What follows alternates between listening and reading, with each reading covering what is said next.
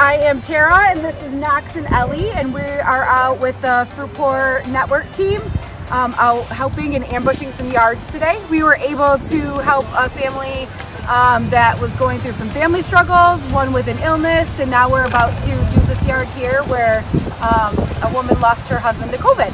And this is such a meaningful experience for all of us here at the network, um, just because I think we all can reflect on times where we have been blessed in our lives, where God has placed people in our lives to bless us, and now we can be those people that are blessing others during times that you know they have fallen on that are a little harder and so just to do God's work is such a great experience for all of us.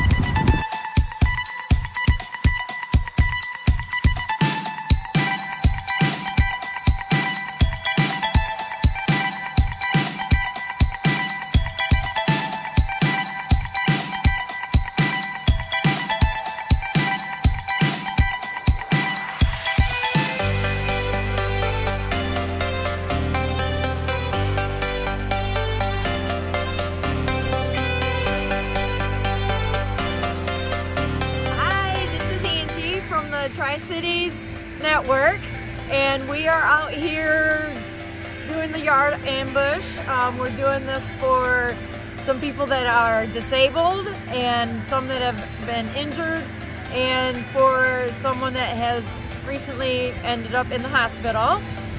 And um, I think this is um, meaningful for all of us. Um, we get to get out into the good weather here and um, help some people that really need it and it makes us all feel good.